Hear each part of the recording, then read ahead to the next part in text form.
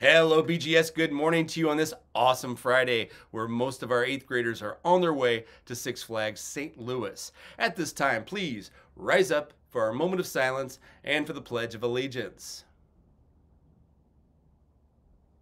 And our moment of silence begins now.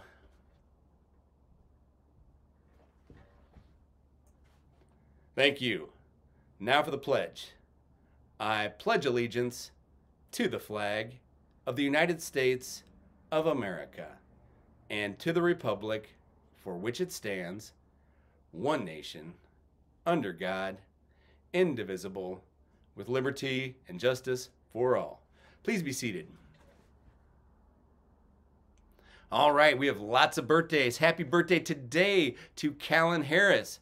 Happy birthday, Callan. Happy birthday today, Grayson Mullins. Happy birthday, Grayson. Happy birthday tomorrow to Gabe Cecil. Happy birthday, Gabe. Happy birthday on Sunday to JJ Brooks. Happy birthday, JJ. Happy birthday on Sunday to Max Littlejohn. Happy birthday, Max. Happy birthday on Sunday to Mrs. Coleridge. Happy birthday, Mrs. Coleridge. And a happy birthday on Sunday to Mr. Brown. Happy birthday, Mr. Brown. All right, for lunch today, pizza. Lunch on Monday, B&G, that's biscuit and gravy. Breakfast on Monday, Pop Tarts.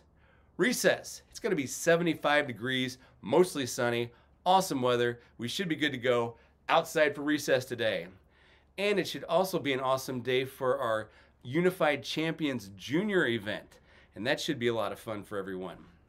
All right, that brings us to our junior high student of April, student of the month. I have the winner right here. All right, this individual will receive a $50 Better Bank Savings Bond.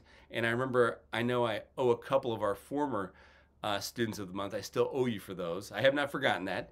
Uh, anyway, you'll get to go have lunch next door at La Gondola with a friend and a teacher of your choice.